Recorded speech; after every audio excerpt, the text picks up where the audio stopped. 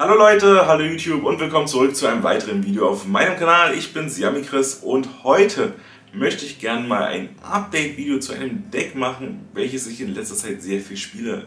Ich finde das einfach geil.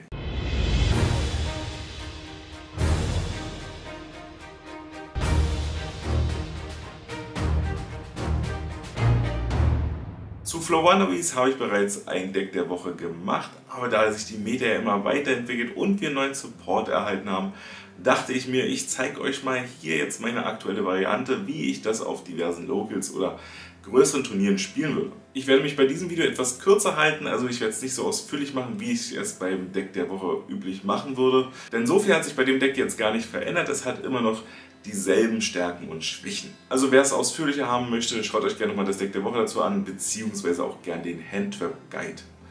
Die Stärken und Schwächen sind ja wie angesprochen gleich geblieben. Wir sind immer noch nicht auf das Extra-Deck angewiesen, von daher juckt uns der Sensenlock überhaupt nicht und wir können sehr viel im gegnerischen Spielzug interagieren. Problematisch für das Deck ist immer noch die Longinus-Lanze und wenn wir unsere hochstufigen Monster nicht rausbekommen, besteht die Gefahr, dass wir recht zügig unsere Life Points verlieren. Nun möchte ich noch kurz auf die Strategie eingehen und dafür habe ich mir eine coole kleine Übersicht überlegt, die verdeutlichen soll, wie man das Deck im Groben spielt. Bei der Übersicht gehen wir davon aus, dass wir nur mit einer Karte starten. Und an sich brauchen wir doch nur eine Karte, um hier voll aufzuspielen. Wir gehen also davon aus, dass wir mit Rotkehler starten. Wir normal beschwören Rotkehler und aktivieren den Effekt von Rotkehler. Rotkehler sucht uns ja ein geflügeltes Monster der Stufe 4 oder niedriger und das ist in dem Fall dann Adlen. Denn Adlen brauchen wir, um in unsere hochstufigen Monster zu kommen. Aufgrund des Effekts von Rotkehler können wir dann auch gleich Adlen normal beschwören. Das machen wir selbstverständlich und suchen uns unseren Kaisen, den wir wiederum durch den Effekt von Adlen normal beschwören können. Kaisen wird also normal beschworen und die Wanderbriesenmonster kommen ja nicht in den Friedhof, sondern in die Verbannung. Weshalb wir hier jetzt schon das erste Mal Shane blocken können. Das kann das Deck auch sehr gut. Wir aktivieren also den Effekt von Kaisen als Shane Link 1 und aktivieren den Effekt von Adlen als Shane Link 2. Rotkehler lassen wir noch in der Verbannung liegen. Der Verbannungseffekt der kleinen Vögel von Wanderbrise sagt nämlich aus, dass sollte ein geflügeltes Monster normal beschworen werden, dürfen wir uns die Wanderbriesenvögel wieder der Hand hinzufügen. Das ist aber alles ein Once per Turn. Das machen wir wie gesagt mit Adlen und mit Kaisen suchen wir uns eine Trap oder Spell. In dem Falle könnte das natürlich die Field Spell sein oder aber die Trap. Wir entscheiden uns hier für die Trap, weil wir damit safe im genischen Spielzug dann eine Normalbeschwörung machen können. Aber bedenkt, nur in der Main Phase. Und in der Main Phase unseres Gegners wollen wir auch gleich mal weitermachen. Wir aktivieren die träumende Stadt und normal beschwören Adeln aus der Hand. Aktivieren seinen Effekt und chainblocken diesen mit Rotkehler. Von daher kriegen wir Rotkehler auf die Hand und können uns wieder ein hochstufiges geflügeltes Ungeheuer durch Adern suchen. Das ist jetzt in dem Fall der Goldader. Das könnte natürlich auch Reiser der Megamonarch sein. Anschließend normal beschwören wir dann Rotkehler, um uns dann wieder ein geflügeltes Monster Stufe 4 unserer Hand hinzuzufügen und das wird dann unsere Barrierestatue sein. Und dann haben wir zwei Optionen. Entweder normal beschwören wir dann unsere Barrierestatue oder wir normal beschwören unseren Goldadler. Wie gesagt, je nachdem auf was wir treffen, würden wir natürlich die eine oder andere Option wählen. Sollten wir uns für unseren Goldadler entscheiden, bekommen wir natürlich unseren Adlen wieder auf die Hand. In den meisten Fällen werden wir uns für die Barrierestatue entscheiden, denn diese lockt ja unseren Gegner in Wind. Das heißt, er kann nur auch Windmonster spezial beschwören. Die Barrierestatue kann unter anderem dafür sorgen, dass wir das Duell gleich gewinnen oder er verschwendet seine Battleface, um dann gegebenenfalls die Barrierestatue wegzuräumen. Aber nichtsdestotrotz haben wir dann immer noch Kaisen auf dem Board. Und Kaisen sagt ja aus, dass Monster, die in Angriffspositionen spezial beschworen werden, ihre Effekte nicht nutzen können. Das heißt, Link-Monster sind uns komplett wurscht. Das ist die grundlegende Strategie des Decks. Wir wollen unserem Gegner das Leben so schwer wie möglich machen durch diverse Logs. Das soll jetzt der kurze Ausblick gewesen sein. Jetzt kommen wir gleich zum Deck-Profile. So meine Lieben, jetzt kommen wir erstmal zum Deck-Profile. Main Deck, Extra Deck, Side Deck. Die beiden packen erstmal weg und wir beginnen beim Main Deck. Und da spielen wir dreimal Wanderbrise und Rotkehler. Rotkehler lässt uns ja ein geflügeltes Monster Stufe 4 suchen, also auf die Hand suchen. Und alle kleinen Wanderbrisevögel können sich aus der Verbannung wieder unserer Hand adden. Das ist aber alles once per turn. Dann dreimal den Adlen, der sucht uns ein hochstufiges, geflügeltes Ungeheuermonster der Stufe 7. Da sind wir also ein bisschen anfällig. Der muss durchgehen, weil mit den kleinen Vögeln machen wir halt gar nichts auf dem Board. Dann noch zweimal Wanderbrise und Strau. Diese Karte muss etwas von einem Friedhof verbannen, egal ob von unserem Friedhof oder vom gegnerischen und erst dann dürfen wir eine weitere Normalbeschwörung durchführen. Sehr gutes Out gegen den DPI, beziehungsweise gegen sehr viele Friedhofseffekte, die vielleicht triggern könnten. mega stark. Wirklich, wirklich starkes Monster. Und als One-Off spielen wir Wanderbrise und Tuckern. Diese Karte erlaubt es uns, eine Wanderbrise-Karte in der Verbannung zu wählen und wieder unserer Hand hinzuzufügen. Soll das durchgehen, können wir dann auch wieder eine weitere Normalbeschwörung machen. Dann zweimal das Bossmonster, Wanderbrise und Kaisen. Den könnte man auch auf 1 spielen, das habe ich ja bei meinem Deck der Woche gemacht. Da habe ich den nur auf 1 gespielt. Oftmals ist es so, dass man ihn eigentlich auch nur einmal rausbringt. Also es ist nice, ihn zweimal zu haben, falls er einmal am Friedhof liegt und man kommt jetzt nicht drum rum, ihn da irgendwie in die Verbannung zu packen, dass man ihn vielleicht mit Tuckern an seine Hand wieder adden kann. Aber an sich könnte man ihn auf 1 spielen. Für die Consistency mit der neuen Spell, die wir bekommen haben in Burst of Destiny, fühlt sich das für mich aber konstanter auf 2 an, weil wir ihn ja dann auch als valides Target noch nehmen können. Dann spielen wir einmal den Nebelteil Goldadler, ein Omni-Negate, kein Once-Per-Turn, mega stark. Wir können ihn ja theoretisch sogar öfter rausbringen und er kann einmal pro Spielzug alles negieren. Er muss sich dafür aber auf die Hand geben. Und zu guter Letzt noch einmal Reiser der Mega-Monarch. Gute Karte. Wenn wir ihn normal beschwören und es sollte sogar ein Windmonster dabei sein, dürfen wir bis zu drei Karten hochgeben. Eine auf dem Board, eine im Friedhof, egal welcher Friedhof und zusätzlich, wie gesagt, wenn wir ein Windmonster mit tributiert haben, noch irgendeine andere Karte. Das zusätzliche Target ist meistens er selber, weil wir ihn öfter rausbringen könnten. Weil wenn wir ihn einmal im Friedhof haben ohne eine Verbannung, kriegen wir ihn nicht nochmal wieder. Dann kommen wir zu den Zauberkarten. Dazu packe ich das jetzt mal kurz beiseite. Da spielen wir dreimal Wanderbrise und die großartige Karte. Mega gute Karte. Also super stark. Wir können einen Wanderbrise-Monster Stufe 1 in unserer Hand vorzeigen und dürfen dann ein Wanderbrise mit einem anderen Namen von unserem Deck verbannen und dann dieses vorgezeigte Monster normal beschwören. So kommt man eigentlich gleich in seine Kombo. Entweder verbannt man gleich Rotkehler oder Adlen, je nachdem, was man dann braucht, um dann weiterspielen zu können. Also das ist super, super stark und das ist ja noch nicht alles, was die Karte kann. Denn diese Karte erlaubt es uns sogar, wenn unser Gegner eine Normalbeschwörung durchführt, ebenfalls eine Normalbeschwörung durchzuführen. das ist einfach stark. Das ist einfach wirklich, wirklich stark, weil so können wir im gegnerischen Zug extrem viel machen. Und die neue Karte, Wanderbrise und der Beginn des Abenteuers spielen wir ebenfalls auf 3. Diese Karte erlaubt es uns, eingeflügeltes Ungeheuer von unserer Hand oder offen von unserer Spielfeldseite zu verbannen. Und dann dürfen wir uns ein Wanderbrise-Monster oder die Spielfeldzauberkarte unserer Hand hinzufügen. Und weil das noch nicht reicht, kriegen wir einfach noch 500 Lebenspunkte geschenkt. Manchmal ist das echt random, warum man hier Lebenspunkte bekommt, beziehungsweise Lebenspunkte abziehen kann vom Gegner. Mensch, Mensch, das hat echt zugenommen in der Geschichte von Konami. Diese Karte hat es echt in sich, denn diese Karte erlaubt es uns nämlich Handtraps wie Impermanence oder Effektwähler zu dodgen. Also wirklich mächtig. Gute, gute Karte. Dann spielen wir noch als One-Off die Wanderbrise und die unbekannten Winde. Die ist so OP, die Karte. Also die ist super, super stark. Denn diese Karte erlaubt es uns nämlich, eine Karte unseres Gegners ebenfalls als Tribut anzubieten, sofern wir ein Monster mit zwei Tributen beschwören wollen. Und ja, ihr habt richtig gehört, irgendeine Karte. Das ist einfach mal richtig stark, weil wir dadurch theoretisch Skill Drain weglegen können. Wir könnten damit Gozen Match weglegen. Es gibt so viele Möglichkeiten. Also es muss nur irgendeine Karte sein und der Gegner kann ja darauf nicht reagieren. Wir aktivieren diesen Effekt nicht und das Stärkste an dem Effekt ist sogar, dass er nicht once per turn ist. Das heißt, wir können das immer wieder machen. Das ist so unglaublich unfair manchmal auch. Also das ist einfach stark. Und die Karte kann ja noch was. Aber dieser Effekt ist once per turn und geht auch nur in der Main Phase. Wir können zwei geflügelte Ungeheuermonster in unserer Hand vorzeigen und dürfen diese dann unter das Deck packen in einer Reihenfolge, wie wir sie bestimmen wollen und dürfen dann zwei Karten vom Deck ziehen. Auch gut. Auch gut, um die Hand vielleicht ein bisschen leerer zu bekommen, beziehungsweise vielleicht um Bricks sogar reinzumischen. Ach, einfach stark. Einfach stark. Und wir spielen dann noch zu guter Letzt einmal die Trap, Wanderbrise und die träumenden Stadt. Denn diese Karte erlaubt es uns während der Main Phase eine Normalbeschwörung eines geflügelten Ungeheuers der, der Stufe 4 oder niedriger durchzuführen. Meistens Rotkehler oder Adlen, damit man gleich ein bisschen weiterspielen kann. Und sollte sich diese Karte im Friedhof befinden und wir machen eine Tributbeschwörung mit einem Monster der Stufe 7 oder höher, dürfen wir diese Karte verbannen und dann werden alle Monster unseres Gegners gebuckt, sofern sie natürlich zu bucken sind. Link-Monster funktioniert natürlich nicht.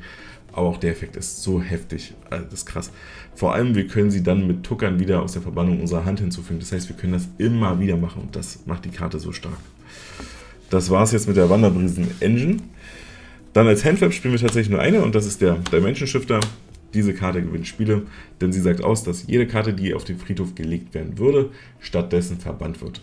Und das tut sehr vielen Decks weh. Uns halt gar nicht. Überhaupt nicht. Wir freuen uns darüber. Wir können diese Karte sogar noch recyceln mit dem Reiser der Mega Monarch, weil wir eine Karte aus dem Friedhof wieder aufs Deck legen können. Und das wäre dann theoretisch eher, das ist auf jeden Fall möglich. Dann ziehen wir ihn nach und können ihn vielleicht gleich nochmal aktivieren. Auch das ist richtig, richtig gut. Für die Consistency spielen wir einen Dreimal-Topf der Gegensätzlichkeit. Wir können bis zu drei Karten ausgraben und uns dann eine davon hinzufügen, dürfen aber für den Rest keine Spezialbeschwörung mehr durchführen. Stört uns aber nicht, weil wir nur Normalbeschwörung machen. Topf des Wohlstands, richtig gute Karte in den Deck, weil wir das Extra-Deck so gut wie gar nicht brauchen. Wir verbannen entweder drei oder sechs Karten vom Extra-Deck und dürfen dann die gleiche Anzahl, die wir verbannt haben, von unserem Main-Deck ausgraben und dürfen uns dann eine dieser Karten hinzufügen. Rest, der Rest kommt dann unter das Deck wieder in einer beliebigen Reihenfolge und wir dürfen dann für den Rest dieses Spielzugs keine Karten mehr ziehen. Das beißt sich also ein bisschen mit unserer Spell, was aber jetzt nicht so tragisch ist und unser Gegner würde für den Rest dieses Spielzugs nur die Hälfte des Damages kassieren. Das ist aber auch, wie gesagt, nicht weiter tragisch, weil wir hier sowieso keine OTK setzen können. Dann spielen wir dreimal Buch des Mondes. Damit können wir ebenfalls Handtaps wie Impermanence und Effect Raider dodgen und auch für Going Second ist das keine schlechte Alternative. Und wir spielen dann noch für Going Second dreimal kein dunkler Herrscher mehr. Falls wir den Würfelwurf verlieren, haben wir vielleicht gleich was, um Bord zu brechen. Und wir spielen ja nicht weitere Handtraps, von daher können wir damit den Gegner komplett hops nehmen vielleicht. Und als One-Offs spielen wir Goldsarkophag vom Grab der und Landform für die Fieldspell, Handtraps. Und mit Goldsarkophag können wir eine Wanderbriesenkarte theoretisch ja verbannen, auch ein Monster. Und wenn wir dann eins auf der Hand haben, könnten wir das aus der Verbannung unserer Hand gleich wieder hinzufügen. Also auch das ist eine sehr gute Karte hier in dem Deck. Und zu guter Letzt natürlich unser Barrierelog, die Barrierestatue der Sturmwinde. Gute Karte. Kriegt man relativ zügig raus. Mächtig. Einfach wirklich, wirklich mächtig. Dann machen wir jetzt weiter mit unserem Extra-Deck und das könnt ihr tatsächlich zusammenstellen, wie ihr wollt. So, beim Extra-Deck spielen wir einmal Lyriklieder, Vogel, vortragender Star und zweimal die Nachtigall. Falls wir vielleicht doch mal in Zeus gehen müssen, nur deswegen haben wir die eigentlich drin. Und damit Zeus noch mehrere Materialien hat, noch die betäubende Magierin und dann wie gesagt Zeus zweimal, damit wir halt auch Felder clearen können. Und weil wir ja Kaisen spielen und der ist ein Stufe 10 Monster, spielen wir sogar einmal die Super Kanonenpanzerzug sowie Juggernaut auch das ist tatsächlich möglich. Wir könnten tatsächlich im gegnerischen Zug den zweiten Kaisen damit aufs Board bringen. Das geht natürlich nur, wenn ihr zweimal Kaisen spielt. Entscheidet ihr euch dafür, Kaisen nur auf 1 zu spielen, könnt ihr das nicht spielen, könntet dann vielleicht noch ein paar Link-Monster spielen, eventuell für Dogmatika, falls man auf, darauf treffen sollte. Denn das tue ich nämlich auch. Ich habe dafür einmal den Schureik drin, falls ich wirklich auf Maximus treffen sollte, dann kann ich ihn weglegen. Ich könnte natürlich auch den Nova weglegen, den ich auch drin habe, der mir dann wiederum den Mecha-Bar aufs Board holt. Und ich habe auch zweimal die Entes drin, sowie einmal den Omega. Das sind alles valide Targets, falls man eventuell doch mal gegen Invoke Dogmatica spielen sollte. Ja, und dann schauen wir uns noch kurz mein Side-Deck an. Da spielen wir zweimal Nibio, das Urwesen immer noch eine mächtige Karte gegen sehr viele Combo-Decks, die vielleicht nicht sofort auf ihr Omnigate bekommen. Dazu spielen wir noch dreimal Doral und Lockbird, ebenfalls richtig gute Karte. Viele Decks suchen sich halt sehr viel auf ihre Hand. Das unterbindet er, sollte aus meiner Sicht in jedem Side-Deck zu finden sein, wenn sie nicht im Main gespielt wird. Und jetzt kommt das Beste, was mir wirklich sehr gut an dem Deck gefällt. Wir können hier dreimal Raigeki spielen. Und das feiere ich einfach. Also dreimal Raigeki zu spielen, Wer hätte gedacht, dass man dazu mal kommt? Also ich nicht jedenfalls. Dann noch für Backrow dreimal den Twin Twister, weil dieses Kahn tut uns jetzt nicht so weh, weil wir mit Wanderbrise und Strau ja auch die Wanderbrisenkarten eventuell verbannen können, um diese dann zu adden. Also auch das ist eine Möglichkeit. Und dann noch einmal den Harpien Flederwisch, kostet uns gar nichts. Und zu guter Letzt ein Auto-Win-Button, den Harpien Federsturm. Der kommt einfach so stark in dem Deck. Unser Gegner kann ganz oft nichts machen dann Ach, Traum. Diese Karte ist echt ein Traum. Gut, dann würde ich sagen, räume ich schnell zusammen und dann kommen wir mal zu einem kleinen Combo-Video. So Leute, willkommen zum Combo-Video und da wollen wir mit der One-Card-Combo starten. Wir normal beschwören Rotkehle und Rotkehle erlaubt es uns, ein geflügeltes Monster der Stufe 4 oder niedriger unserer Hand hinzuzufügen. Das ist dann Adlen. Und Adlen normal beschwören wir dann ebenfalls. Durch den Effekt von Rotkehl dürfen wir eine weitere Normalbeschwörung durchführen und aktivieren seinen Effekt und fügen uns unseren Kaisen hinzu. Dann tributieren wir die beiden, weil wir dürfen jetzt wieder eine weitere Normalbeschwörung durchführen für unseren Kaisen und nutzen seinen Effekt und Chain blocken ihn mit Wanderbrise und Adlen. Also Shamelink 1 und Shamelink 2. Er kommt wieder auf unsere Hand und wir dürfen uns eine Spell oder Trap suchen. Je nachdem, was ihr natürlich auf der Hand habt, sucht ihr euch entweder die großartige Karte oder ihr sucht euch die Fallenkarte. Na, das müsst ihr dann immer intuitiv entscheiden. Wir nehmen jetzt natürlich die Fallenkarte in unserem Fall, weil wir diese One-Card-Kombo nur haben. Setten diese und würden jetzt an den Gegner abgeben. Sobald unser Gegner dann in die Main Phase 1 eintritt, aktivieren wir unsere Fallenkarte und normal beschwören dann Allen und nutzen dessen Effekt sowie den Effekt von Rotkehle, also Chaining 1, Chaining 2. Rotkehle kommt wieder auf die Hand und wir suchen uns ein weiteres hochstufiges Monster und je nachdem, was unser Gegner eventuell schon gemacht hat, holen wir uns den Reiser oder wenn wir wissen, wir spielen jetzt gegen ein Backo-Deck, dann holen wir uns den Nebelteil Goldadler auf die Hand. In unserem Fall jetzt den Nebelteil Goldadler, weil wir ja nicht wissen, gegen was wir jetzt spielen. Wir machen das ja auch nur fiktiv.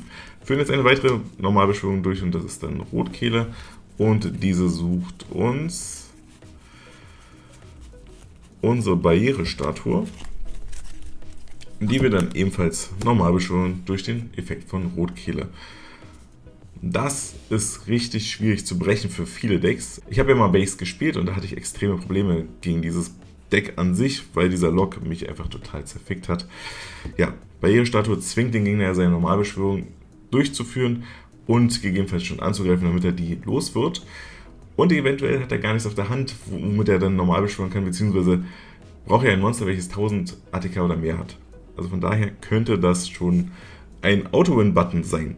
Aus meiner Sicht ist dieses Deck sehr konstant und um das zu beweisen, ziehen wir jetzt gleich mal eine random Hand.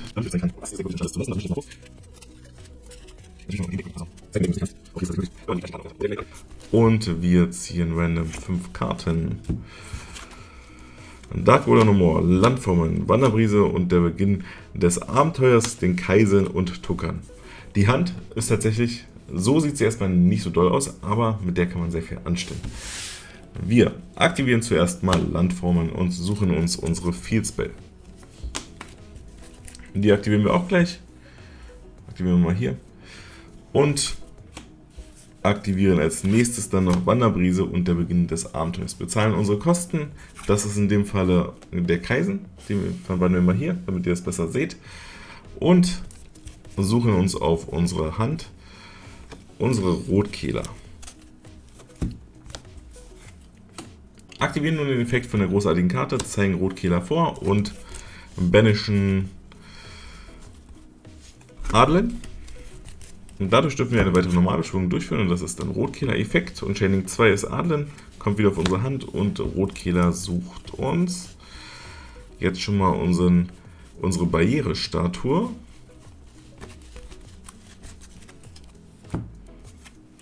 Machen eine weitere Normalbeschwörung zu Adlen und nutzen dessen Effekt und suchen uns schon mal unser erstes großes Monster. Nebelteil Goldadler. Hätten jetzt auch theoretisch den Wanderbrise und Kaisen suchen können, weil dieser ja nicht once per Turn ist tatsächlich. Aber den kriegen wir gleich anders. Und zwar machen wir jetzt eine weitere Normalbeschwörung und nutzen seinen Effekt, targeten den Wanderbrise und Kaisen und fügen uns diesen unserer Hand hinzu. Und machen jetzt eine weitere Normalbeschwörung und tributieren. Ne, Adlen haben wir geholt, genau, aber trotzdem Adlen tributieren wir trotzdem. Die beiden und Normalbeschwörung Wanderbrise und Kaisen nutzen jetzt den Effekt von Rotkehler und also aktivieren jetzt den Effekt von Kaisen und Chaining 2 ist Rotkehler, kommt wieder auf unsere Hand und Kaisen sucht uns. Jetzt könnt ihr tatsächlich überlegen, wollt ihr eher die Karte haben, weil ihr wisst, ihr zwingt den Gegner zu einer Normalbeschwörung oder sucht ihr euch lieber, um Nummer sicher zu gehen, die verträumende Stadt. Ich würde mir lieber die träumende Stadt suchen, um, wie gesagt, auf Nummer sicher zu gehen. Ja. Die fügen wir unsere Hand hinzu und wir dürfen hier eine weitere Normalbeschwörung machen. Das ist dann schon mal unsere Barrierestatue. So, jetzt haben wir echt ein gutes Board. Kaisen lockt den Gegner schon mal, dass er die Monster, die in Angriffspositionen spezial beschworen wurden, nicht mehr ausführen kann und Barrierestator zwingt ihn theoretisch nur noch Windmonster spezial zu beschwören. Dann setzen wir noch unsere Trap und würden dann schon an unseren Gegner abgeben. Ja, das kann sich durchaus sehen lassen. Lässt uns etwas normal beschwören, wenn unser Gegner etwas normal beschwört und wir können das noch selber triggern mit unserer Trap an sich. Also ich glaube, dass das schon echt ein gutes Board ist. Da kann man sich nicht beklagen. Wie findet ihr das Deck mit dem neuen Support? Schreibt mir das gerne in die Kommentare. Wie findet ihr das Deck im Allgemeinen? Also aus meiner Sicht ist das wirklich ein Deck, welches man nicht unterschätzen sollte, vor allem wegen des Barriere-Logs. Ich finde es super mega stark. Jo, ich hoffe, das Video hat gefallen. Dann lasst gerne ein Like da, lasst ein Abo da. Macht's gut, haut rein. Ciao.